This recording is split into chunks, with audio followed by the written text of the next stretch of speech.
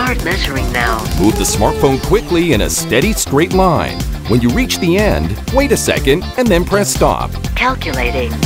Your smartphone is part of the measurement. SizeUp is compatible with iOS and Android.